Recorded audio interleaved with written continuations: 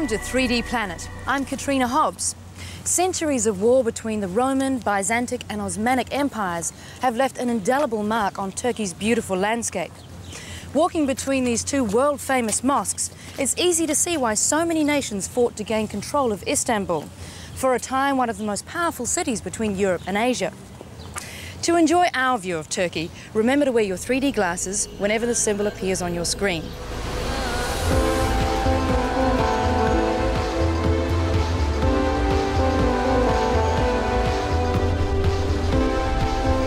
Turkey is a country with many faces. On the one hand, a high-tech industrial cultural melting pot, while on the other hand, dreamy beaches, relaxation and unlimited fun. As a result of history dating back hundreds of centuries, this Mediterranean country offers some of the most fascinating cultural treasures in the world.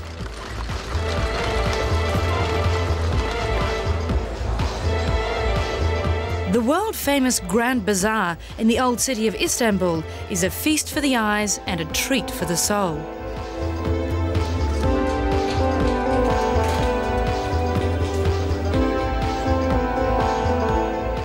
Art and tradition are important factors of everyday life in Turkey. Kilims and carpets are still knotted by hand by the young women of the village. Ephesus is a mysterious village, supposedly the last place the sacred Maria was seen some 2,000 years ago. Where she died, no one knows.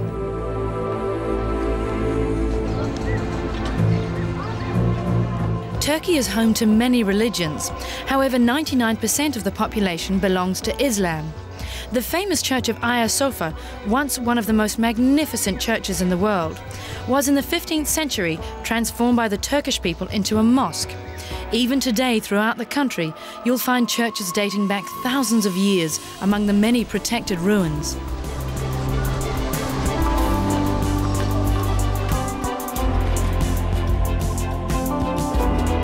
Turkey stretches like a bridge between the Asian and the European continents. Our journey begins in Istanbul, a simmering metropolis, the biggest in Europe.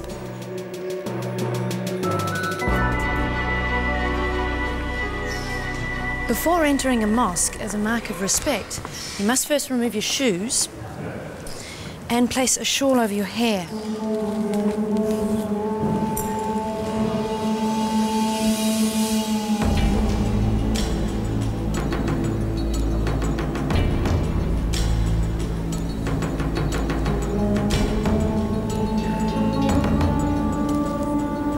I've been invited by the priest of the Eyüp Mosque to a religious service. The young pupils of the Quran read from the Suran, a verse of the Holy Quran. Mahmud Oka is the Imam of the mosque. Turkey is one of the smallest Muslimic countries where a separation between state and religion is practiced. The government places great importance on establishing an open and liberal Islam.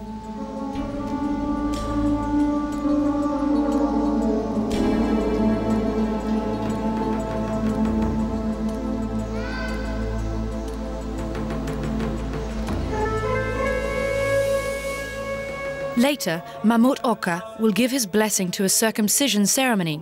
These five to seven year old boys must be circumcised. It's an important part of the Muslim religion. What would you say is the most important belief in the Islamic religion? There are five pillars that form the basis of Islam. fasting, praying, pilgrimage, alms, and lastly, the Shahade, which needs to be vocalized. It's a commitment that states there is no God but our God, and Muhammad is his prophet.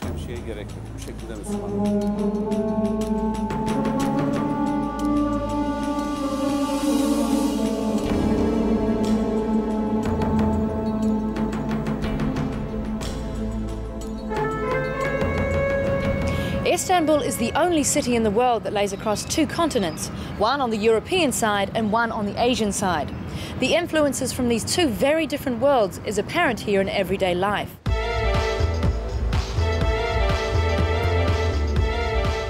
That's also the charm of this city. Around 65 million people live in Turkey, and of that, 16 million live in Istanbul. However, in 1923, Ankara was named the capital of Turkey.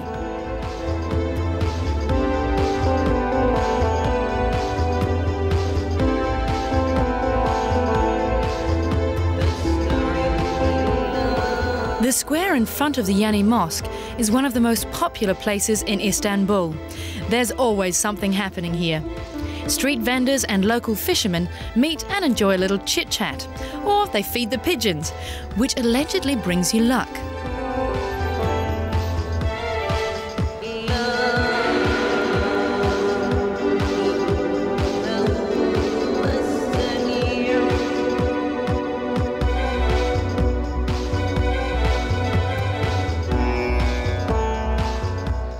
Istanbul's turbulent history stretches back over two and a half thousand years. It's had over 120 rulers governing the city. By the time of the Osman, the Grand Bazaar was the pivotal centre of trade between Asia and Europe. It was the main marketplace for trading goods, camel drivers, and jewellery. In this bazaar, haggling is a must. You shouldn't end up paying more than two thirds of the asking price. Here you can find simply everything, from Aladdin's lamps to CD players. The bazaar is not just a collection of shops, but an authentic dome covered city of 200,000 square metres. Kapali Çarşı is one of the biggest markets in the world.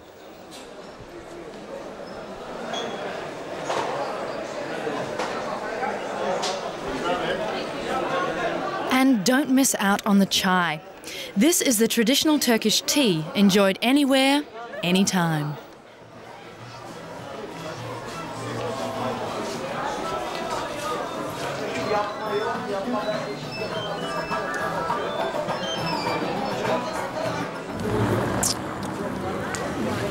Excuse me, I'm, I'm trying to find a place that, that they bake bread and they roll it in the middle of the room. Do you know do you know of a place? Here, no.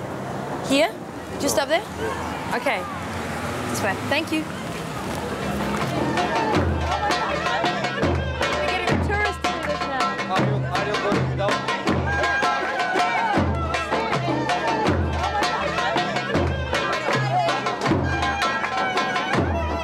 This is not a rare sight in Turkey. People simply dancing and making music on the streets. Here, there's always something to celebrate.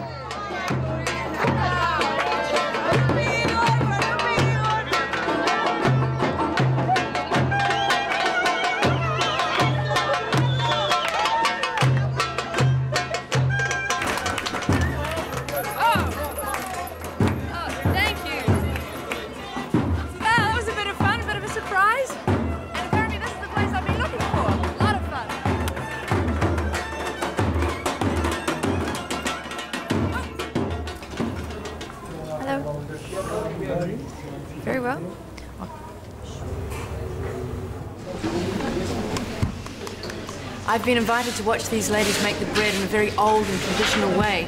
So let's see how it's done.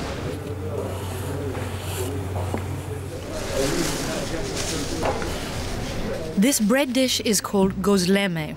It's one of Turkey's oldest specialties. The original recipe comes from the Osmanic Empire. In times of poverty, gozleme was a cheap and quick way of feeding the family. The dough is first kneaded, then filled with either spinach, feta cheese, or mincemeat. It's okay? It's hot. Hiya! It's really hot. Have you tried?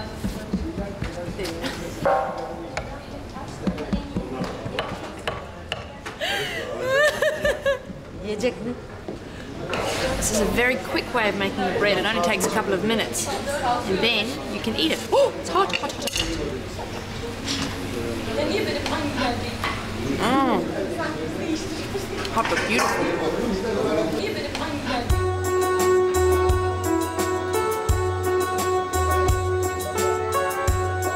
Not far from here lies Najil Sokak, the water pipe street. Originally, the idea of the water pipe came from India. The tradition was further developed in Egypt before coming back to Turkey in the 17th century. Metin is a water pipe expert. He says you're not to inhale the smoke, but just to puff it like a cigar.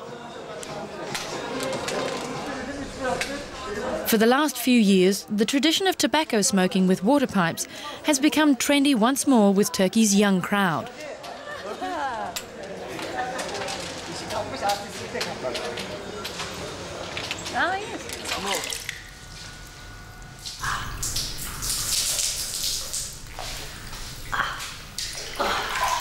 This is my first experience in a traditional hammam, a place known for its deep ritual cleansing.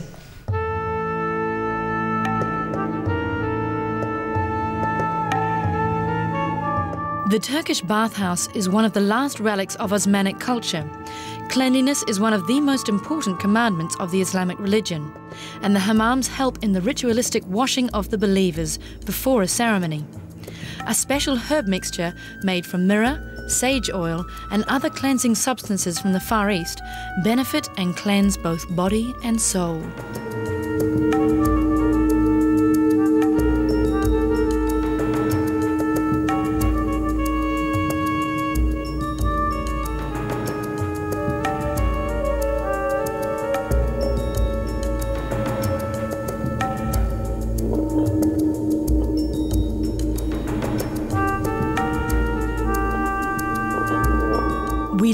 Densely packed metropolis and travel further along the Mediterranean coast to one of the oldest towns in Turkey, Ephesus.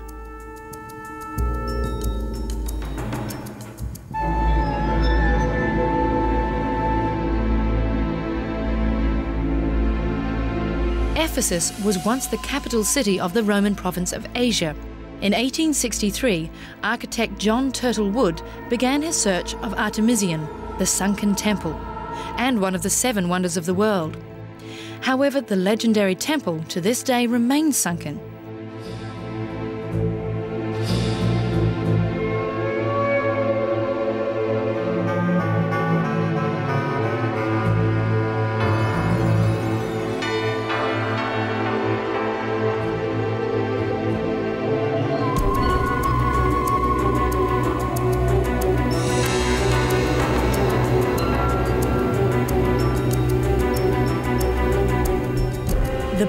Toilets of the city were also here. They were, interestingly enough, an important area for business deals. Here, the deals were ironed out and sealed with a handshake.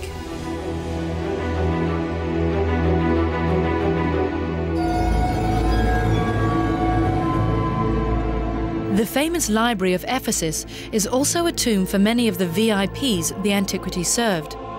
Here lies Princess Arsinoe, sister of Cleopatra. The restoration of this 1800 year old library only began in 1978.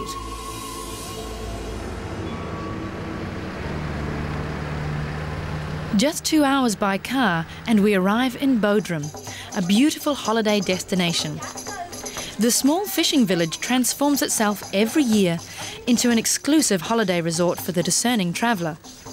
Even though it has such an influx of tourists, Bodrum has successfully retained its individuality. The beaches are relatively small, so if you're a fan of sunbathing, it's recommended you take one of the numerous boats out to one of the secluded bays.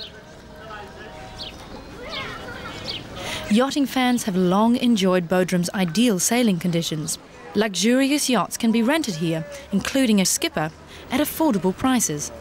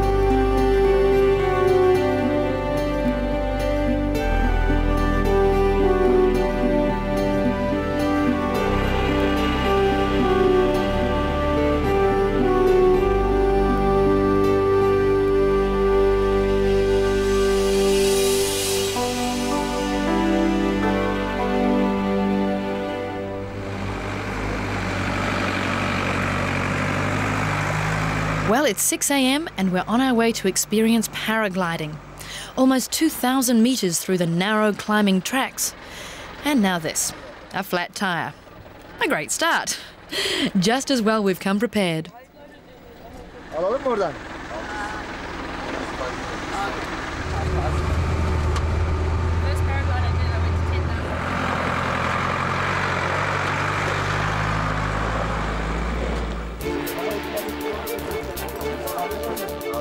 The takeoff point is around 2,000 metres high, the highest mountain in Fethiye. This is heaven for paragliding fans. But as a beginner, it's essential to go on a tandem flight.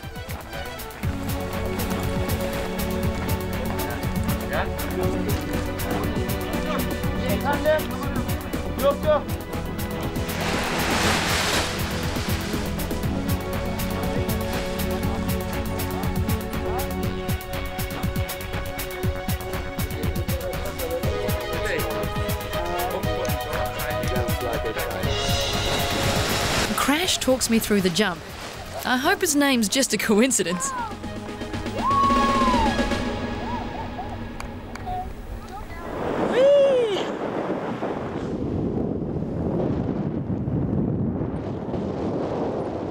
Why is it called a ghost town? Just below, you can see the area known as the Sea of the Dead. This area got its name from a myth about a young fisherman's daughter who, unlucky in love, threw herself from the mountain into the bay below. For goodness sake, don't take your hands off. Ah! Yeah, that's what I don't like doing with these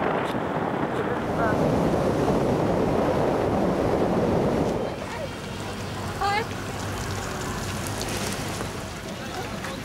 That was the best. That was the best paraglide.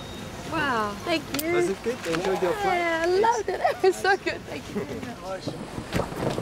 Çok.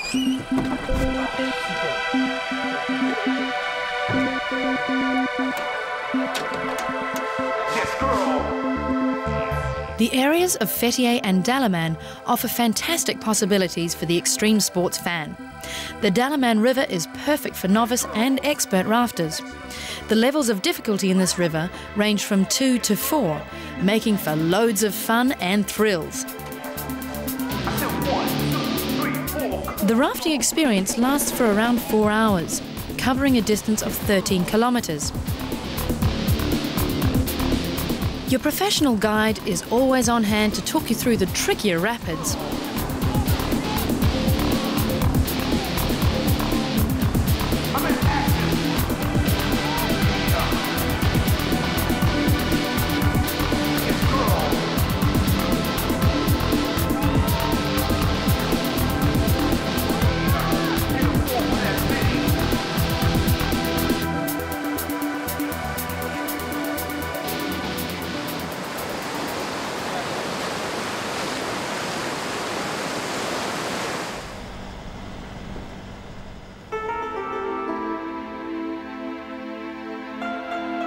Between three and four hours east of Dalaman lies the town of Side.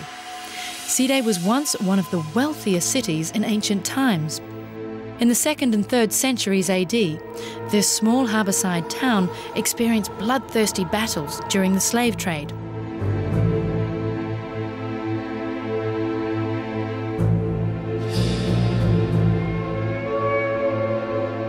However, many of the monuments and statues from this period are still in very good condition.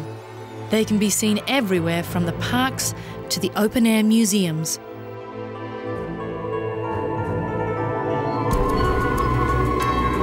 These deities and memorials are remnants to the rich history of the high priestesses of the ancients.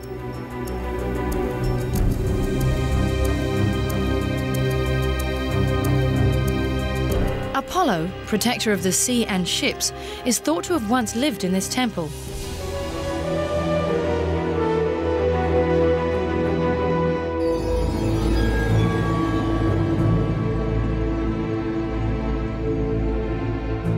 The Agora Therme, an ancient bathing establishment, is today an archaeological museum. As recently as 1960, the bathhouse was adapted to house the museum. This museum is full of records from the ancient city of Side. Here you'll find embossed weapons and inscriptions revealing times of war and hardship. Statues of the Greek gods, such as Hermes, Athena, and the three goddesses, can also be found in this museum.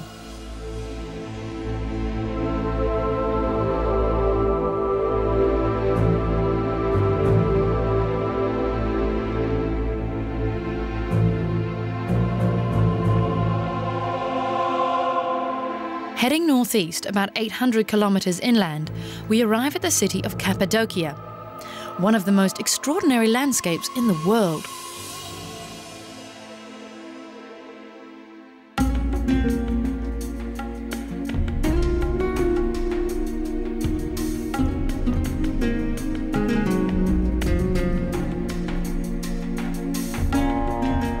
Hot air ballooning is without a doubt the best way to see this area. This entire area is called Cappadocia, but just behind me here is Pigeon Valley.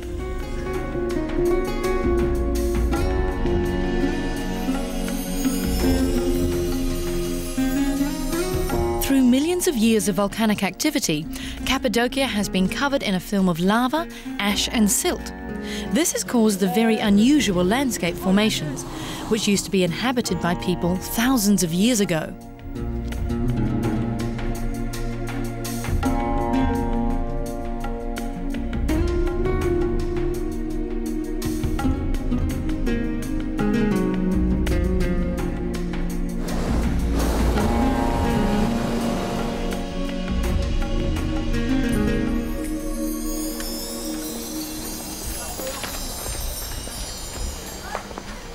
The small village of Avanos lives Galip, Turkey's most famous potter.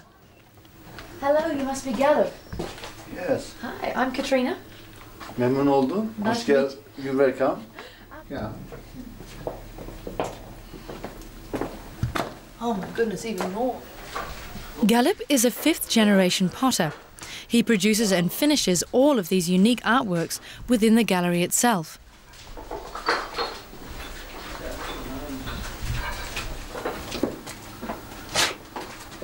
Galip, I've heard about a very special area within the gallery. Can you show me? Yes. Yes. Very very nice. me? Yeah? Yeah.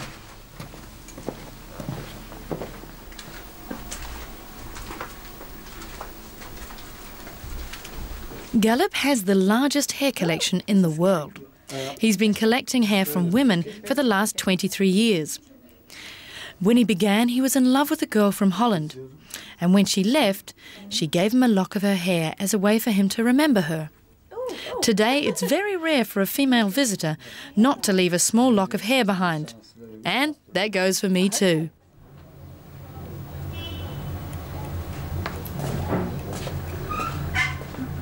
Pottery is a learned art, and very quickly, Galip proves that practice makes perfect. Oh no, I broke it.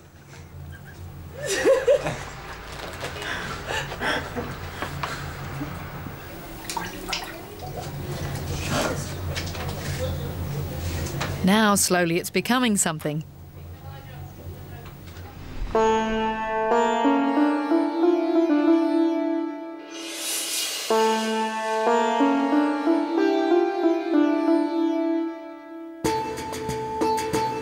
In the area of Cappadocia, time really does seem to stand still. Of the people here is simple, but very content. In total, there are six large regions here. However, the people still prefer to live in caverns or within the ruins. These are the places that can withstand earthquakes.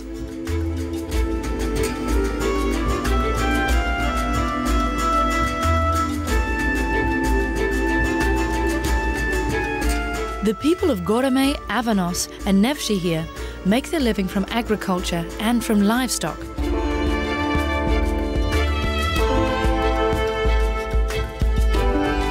In the villages, they've also developed their crafting skills.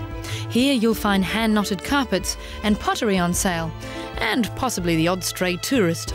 The hotels here are simple but comfortable. And to complement the excellent Anatolian cuisine, there is a wonderful selection of wine to choose from.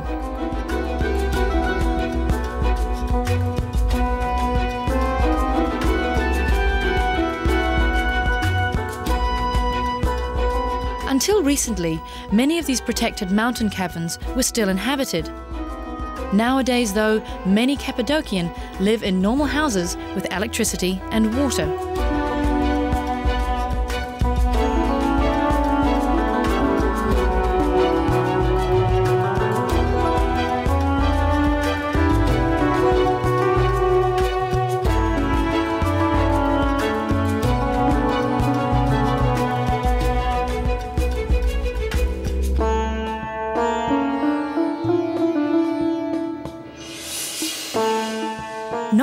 The caverns of Goreme lies the small village of Sarihan, where an old mystical tradition still exists. The dance of the dervishes, a form of meditation, is practiced by the Islamic people. The fraternity of the dervishes was founded by the scholar Mevlana in the year 1207. Mevlana developed the dance so that he could visually express his love for God.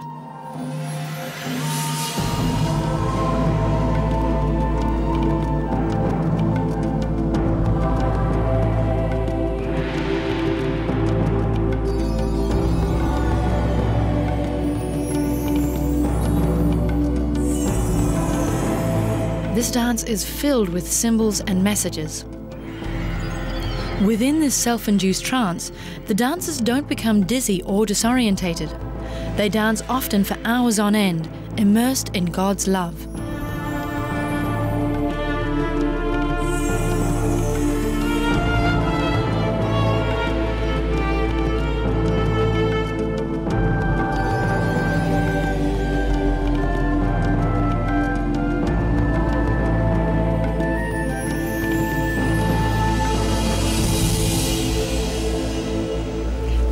Journey through Turkey has come to an end. This is a country filled with mystery, and we've only just scratched the surface. I hope you've enjoyed our adventures, and we'll see you soon on the next 3D Planet.